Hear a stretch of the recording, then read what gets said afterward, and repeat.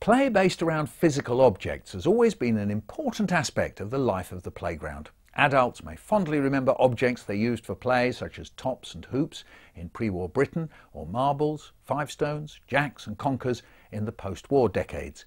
As the Opies put it, the youthful pleasure of prizing a mahogany smooth chestnut from its prickly casing is not easily forgotten.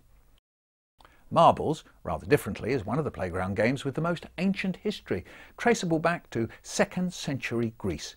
The Opies record the rich variety of names for different kinds of marbles. Pop alleys, glasses, balsers, dummocks, jarries, moral leggers, bullies, bumpers, cannons, dobbers, gobbies, fighters, fobblers, kings, slammers, smashers, tatty mashers, yogis, babies, peas, peewees, peedies, titchers or tiddlers, blood alleys, cat's eyes, Coca-Colas, pearlies, rainbows, Frenchies and spiders. Other games involved designed structures such as the hopscotch grid chalked by girls on pavements and playground tarmac. Many of these are not to be found in today's playgrounds, though it's quite possible that they may unpredictably revive as crazies. If the actual objects of play go in and out of fashion, the deeper motives for playing with objects continue undiminished. Games involving throwing, catching, flicking, bouncing and knocking down various objects can still be seen, even if the materials involved are different. Collecting is still a passion of children, and some of the objects of collection closely resemble those of the mid-20th century, such as trading cards based on football, like the Match Attax cards we observed on our playgrounds. However, it's also clear that many schools exclude some of the things that children play with at home. These may be such things as game consoles, large and expensive toys, dressing up clothes and toy weapons. Combat-based games are often seen as representations of dangerous, antisocial behaviour to be discouraged. In fact, it's just as likely that they are a timeless and ineradicable part of childhood play as they certainly are for adults.